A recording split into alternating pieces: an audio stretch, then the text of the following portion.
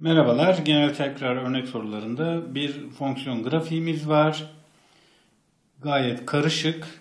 Öğrenciyi korkutmak için dizayn edilmiş sanki. Eksi 3 ila 5 kapalı aralığında x değerleri için fx çarpı gx bölü hx sin sıfırdan küçük olduğu aralıkları soruyor bana çözüm kümesi olarak. Güzel. Şimdi arkadaşlar hareket tarzımız ne olacak? Sıfır ile kıyaslanıyor ise bu arkadaşların çarpımlarının nerelerde negatif olduğunu gösteriyor. Şimdi bu karışıklıktan kurtulmanın en güzel yolu işaret incelemesidir. O da nedir? Şudur.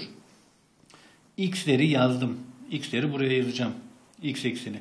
Şimdi fx'i bir irdeleyeceğim. fx'i. Daha sonra gx'i irdeleyeceğim. Daha sonra hx'i irdeleyeceğim. Hangi aralıklarda nasıl davranıyorlar? Sonra fx çarpı gx bölü hx ile işaretlerimi bulacağım. Çözüm kümeme kolaylıkla ulaşacağım. Bakıyorum. fx değerim birde bir kökü var arkadaşım. Evet. Büyük, küçük öyle davranacak. gx'e bakıyorum. gx'in eksi 3'te bir kökü var. Birde bir kökü var. Evet.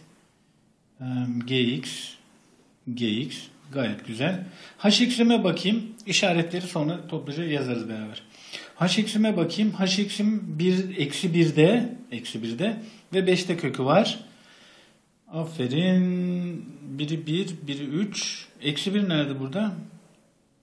Biri 2 kere mi yazdım? Evet biri 2 kere yazdım. Hemen düzeltelim. Şu baştan alalım. fx için bu. gx için eksi 3 ile 1. Ha şurası. Evet. Mükerrer işler yapıyorduk. Güzel. Şimdi fx'ime baktım, gx'ime baktım. hx'imize bakalım. Eksi 1 ila 5 aralığı. Eksi 1'de bir köküm var. 5'te bir köküm var. Güzel. Bu da hx'im oldu. Bakıyorum fx değerim arkadaşlar birden büyük değerler için hep pozitif davranmış. Küçük değerler için de negatif davranmış. Güzel. Gx e, grafiğim ne yapmış? Eksi 3 ila 1 aralığında, eksi 3 ila 1 aralığında hep negatifmiş. Daha sonra hep pozitifmiş. Güzel. Burada da pozitif. Onu da yazdım. Hx değerim, hx fonksiyonum ise eksi 1 ila 5 aralığı, eksi 1 ila 5 aralığında sürekli pozitifmiş. Y değerleri, diğer değerler için de negatifmiş. Kökler arasında pozitif, dışında negatif. Güzel. Şimdi geliyorum. Nereye bakacağım? Eksi 3 ila 5 aralığına bakacağım. Aşağı ya da yukarı olması beni ilgilendirmiyor artık. Güzel. Bakın çarp çarp böl. Çarp çarp böl. Çarp çarp böl.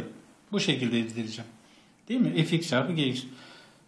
Negatif negatif pozitif. Negatifle negatif. Güzel. Negatif negatif pozitif. Pozitif pozitif. Pozitif pozitif pozitif.